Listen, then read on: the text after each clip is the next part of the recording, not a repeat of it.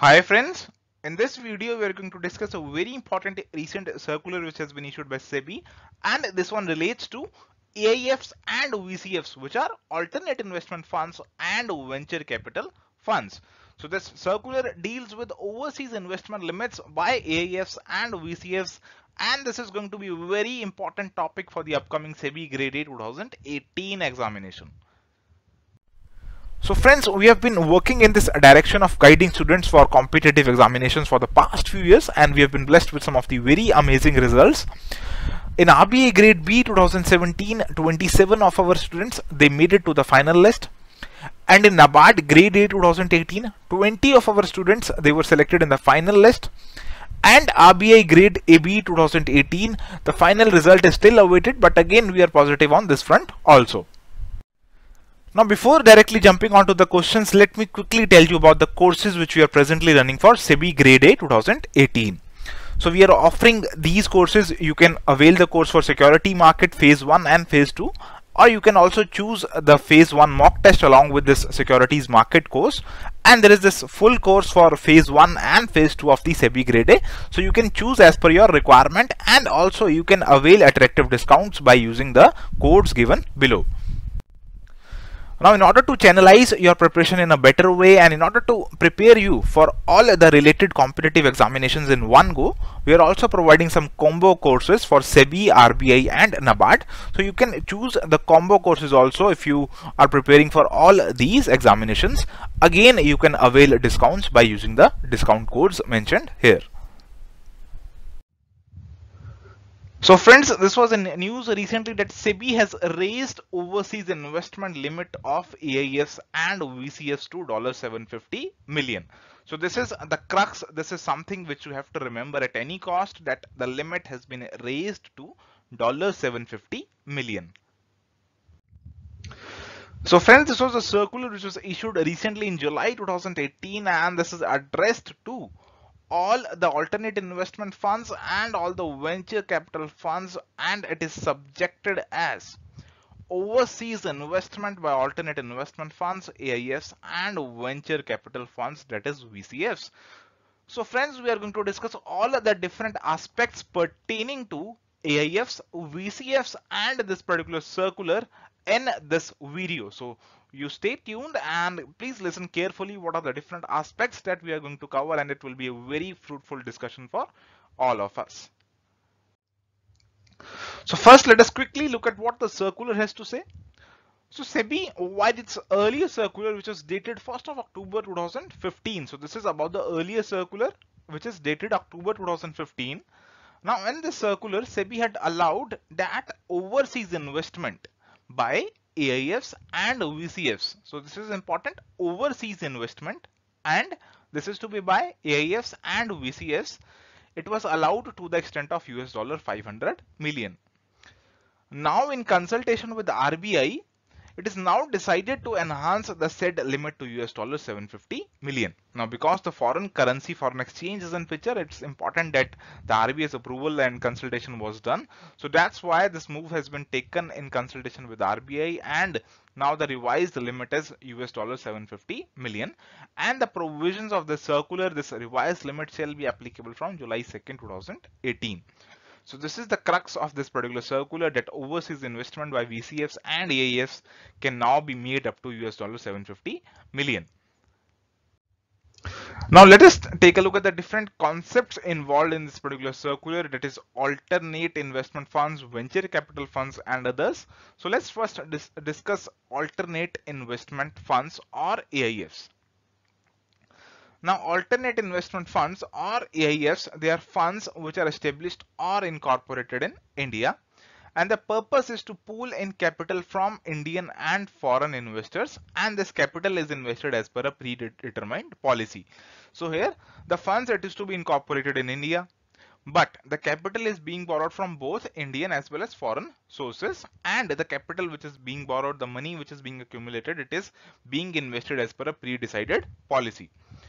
So AIF means any fund which is established or incorporated in India, which is a privately pooled investment vehicle to collect funds from sophisticated investors and the investors from which the AIFs they seek to collect the funds they are the sophisticated investors which can be either Indian or a foreigner for investing it in accordance with the defined investment policy for the benefit of investors. So it's it's making clear the, what is the meaning of alternate investment funds and it also says that alternate investment funds does not include the funds which are covered under SEBI Mutual Funds Regulations 1996 and SEBI Collective Investment Schemes Regulations 1999. So it is saying that please do not confuse the AIFs with mutual funds and collective investment schemes. So friends, if someone asks you about alternate investment funds, these are the points which you have to keep in mind while answering this particular question. So you have to remember that these are privately pooled investment vehicles. So these are the vehicles through which money is being pooled and these vehicles they are established in India. So they are established in India. That's why the SEBI is concerned about these because they are incorporated in India and they are collecting funds from different sets of sophisticated investors. And these investors they may be from India or from foreign. So it's not necessary that the investors have to be from India, but the fund has to be in India and the money is invested as per a predefined investment policy which is there and the ultimate objective is benefit of the investors. So these are the key points which you have to remember while answering the definition of alternate investment funds. And at the same time, you have to remember that they are not mutual funds and they are not collective investment schemes. Now, if you look at the categorization of AIFs, that is alternate investment funds, then as per the SEBI AIF regulations 2012, AIFs shall seek registration in one of the three categories. So if you aspire to register yourself as alternate investment fund or AIF, you can register either in the three categories, each having its own set of compliance norms and each is having its own set of risk measurement. So if you look at the first category, now this first category it mainly relates to investment in startups and SMEs which the government considers economically and socially viable. So first one, first category AIF, they are putting in money in those sectors which the government considers economically and socially viable. Now when we talk about the second category, so these are AIFs such as private equity funds or debt funds for which no specific in incentives or concessions are given by the government. So these are those funds which are private equity or debt with no specific incentives.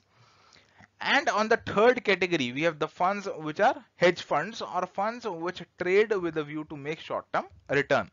So here in category 3, we'll be having all the left out funds like hedge funds and all the funds for which there is no specific guarantee or commission or incentive by the government or any other regulatory authority.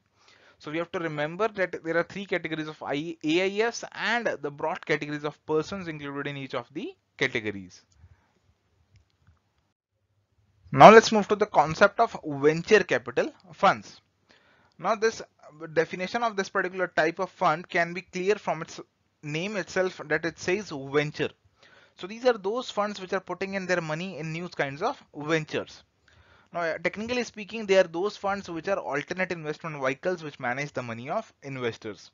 So they are also kind of alternate investment vehicles and they are that are managing the money of their investors and the money which is being taken from investors.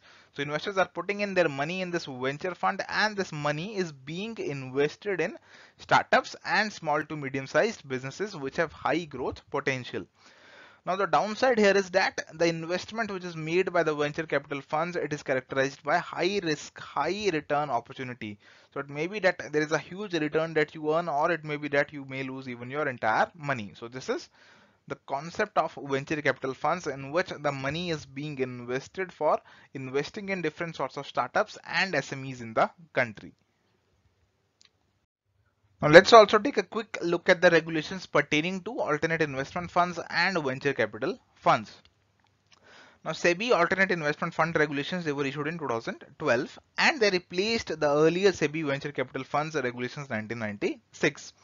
So earlier we had a separate set of regulations for venture capital funds but now since 2012 they have been compiled under this one set of regulations and as per these regulations if any person has to become an alternate investment fund it has to obtain a certificate from the registration from the board An application for grant of this particular certificate or registration from the board shall be made for any of the categories which is specified in form number A of the first schedule of this particular uh, so regulation. So this is about the SEBI alternate investment fund regulations 2012. So we have to remember that AIF regulations which are there, they are regulating both AIFs as well as venture capital funds or VCFs. Now as a part of this particular circular, there is also some monitoring limit with regard to the utilization of funds. Now the SEBI has increased this particular investment limit, but SEBI also wants to keep a check on whether this limit is being utilized and what is the quantum to which this limit is being utilized and to ensure that this limit is not breached in any case. So in order to check all these, SEBI has made mandatory the following disclosures. So it says that AIFs and VCFs shall report the utilization of the overseas limit within five working days to SEBI. So you have to report to SEBI that whether how you have utilized this utilization of overseas limit within five working days.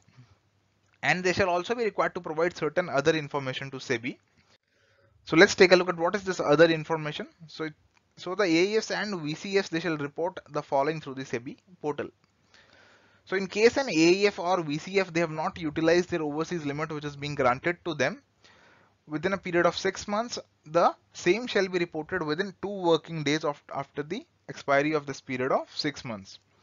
So it says that if you're not utilizing your limit, you have to communicate this within two working days.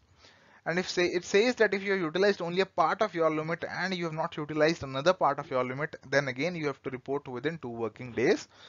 And in case you want to surrender the overseas limit which has been allocated to you, you can do so at any point of time and the same shall be reported within two working days from the date of decision to surrender the limit. So this this is about the different sets of uh, reporting norms, the different sets of responsibilities under this particular regulations.